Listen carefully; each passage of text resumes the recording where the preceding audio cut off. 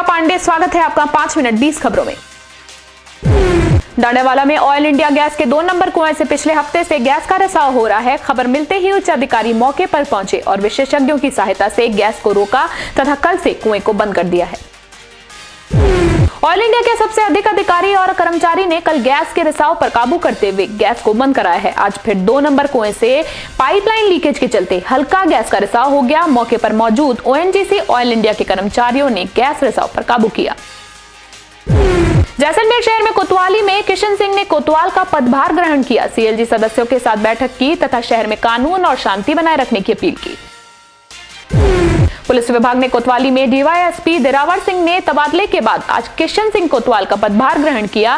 पत्रकारों से बातचीत में कोतवाल किशन सिंह ने कहा है कि शहर में कानून में शांति बनाए रखने में आमजन में विश्वास और अपराधियों में पुलिस का भय बना रहेगा। पोखरण इलाके में दो कारों में हुई भीषण भिड़ंत में सड़क में पाँच लोगों की मौके पर ही मौत हो गई। वहीं चार लोग गंभीर रूप से घायल हो गए। हादसे में जैसलमेर के साकड़ा प्रधान भी गंभीर रूप से घायल हो गए हैं। घायलों को जैसलमेर पोकरण और जोधपुर के एमडीएम अस्पताल में भर्ती कराया गया है। जानकारी के अनुसार हादसा पोखरण इलाके के चाचा गाँव के पास शाम करीबन साढ़े पाँच बजे हुआ। उस समय सीकर ज़िले के खाटू श्याम के कुछ लोग जैसलमेर घूमने के बाद वापस लौट रहे थे। इस दौरान चाचा गाँव के पास ज़बरदस्त भिड़ंत हुई और हादसे में पाँच लोगों की मौके पर ही मौत हो गई और चार लोग गंभीर रूप से घायल हैं। अजमेर में जायरीन के साथ मारपीट का वीडियो सोशल मीडिया पर वायरल हो गया है। दिल्ली से घूमने आए जायरीन के साथ अजमेर के आना सागर बारादरी पर असामाजिक तत्वों द्वारा मारपीट करने का मामला सामने आया है।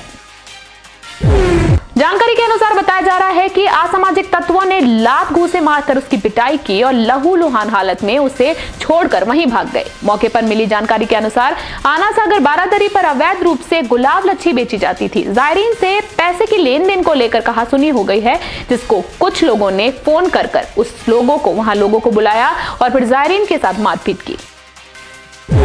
बालेसर कस्बे के निकट बस्ती नगर स्थित माता रानी भटियाणी माँ आशापुरा के मंदिर में चल रहे रामचरित मानस कथा में आसपास के सैकड़ों की तादाद में श्रद्धालुओं ने कथा श्रवण किया। कथावाचक संत ज्वाला प्रसाद महाराज ने कहा कि हमें भगवान के नाम का निरंतर जप करते रहना चाहिए, इससे ही ईश्वर की प्राप्ति होती है। साथ ही उन्होंने आह्वान किया कि शाम को नैनी बाई का मायरा देखने ज़रूर पधारे। बाड़मेर लोकसभा चुनाव के पूर्व तीन राज्यों में मिली सफलता के बाद कांग्रेस फुल एक्शन मूड में नज़र आ रही है। बाड़मेर ज़िले के प्रभारी बीडी कल्ला ने बाड़मेर का दौरा किया और कार्यकर्ताओं से मुलाकात की। छोटा उदयपुर ज़िले के भगवानपुरा गाँव के पास भीषण एक्सीडेंट हो गया। अज्ञात वाहन की टक्कर से बाइक सवार दो लोगों की मौके पर ही मौत हो गई। हादसे में गंभीर रूप से लोगों को हॉस्पिटल पहुँचाया गया है। जोधपुर ज़िले के सबसे बड़े पुलिस थाना बिलाड़ा में जोधपुर ग्रामीण पुलिस अधीक्षक रघुनाथ गर्ग ने दौरा करते ही अधिकारियों की हड़कंप मच गई। साथ ही सभी सिपाहियों ने सैल्यूट किया तथा गार्ड ऑफ़ ऑनर की सलामी भी दी। पुलिस उपाधीक्षक गर्ग ने पत्रकारों से बातचीत करते हुए कस्बे की जनसंख्या के बारे में जानकारी ली। पत्रकारों ने कहा कि कस्बे में रात्रि गश्त में भीड़ भाड़ वाले इलाकों में चक्का जाम हो जाता है तो वहाँ पर ट्रैफ़िक पुलिस की ड्यूटी लगाई जाए ताकि आम लोगों को राहत मिल सके। मतोड़ा के स्थानीय ग्रामीणों ने पुलिस से मांग की है कि देड़ोक तथा आउ जाने वाले सड़क पर सीनियर स्कूल के पास दोपहिया वाहन को खड़ा करने से सड़क पर जाम लग जाता है। तो स्थानीय पुलिस ने उसके खिलाफ कार्रवाई करें।